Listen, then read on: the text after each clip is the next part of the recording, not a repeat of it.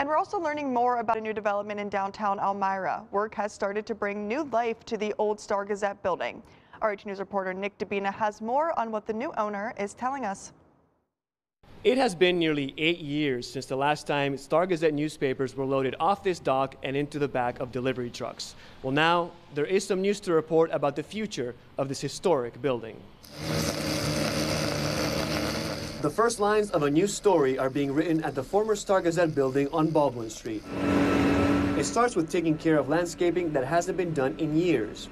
Cleanup has also started inside the building. The new owner says it is trying to figure out the best use for the property a decision on a plan is expected late next month. The owner of the building is very familiar with buildings with those types of issues. Because um, there are there are some issues with um, I don't want to say pollution, but kind of uh, environmental issues. And did I hear correctly that the environmental issues you mentioned may be related to the fact that they printed the papers in there and yeah. the ink may have seeped into the ground or something like that, or is that wrong? I don't know if there's major seeping into the ground, but it, it just there are some environmental issues that have to be handled.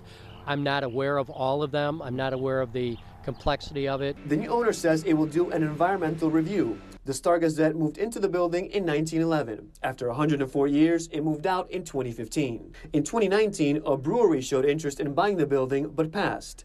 In 2020, Gannett sold the property for $215,000. The new owner said he would turn it into a studio and gallery for artists, but it didn't happen.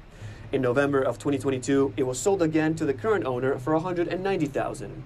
Now, despite the rain, crews here tell me they expect to finish landscaping this entire property, which spans an entire city block, in just five hours. And you can read more about the history of the Star Gazette building on our website, that's mytwintiers.com. In downtown Elmira, I'm Nick Dubina, 18 News.